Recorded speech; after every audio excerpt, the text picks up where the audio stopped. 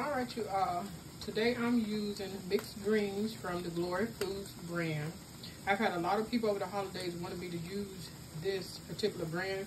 I know about Glory. I used to cook Glory years ago for my family. It's definitely a great alternative if you're not going to do fresh. I particularly love fresh veggies because I am from the South. These I would call fresh veggies in the can. So we're going to shout out Glory because today it's going to help complement the meal I'm fixing for my family.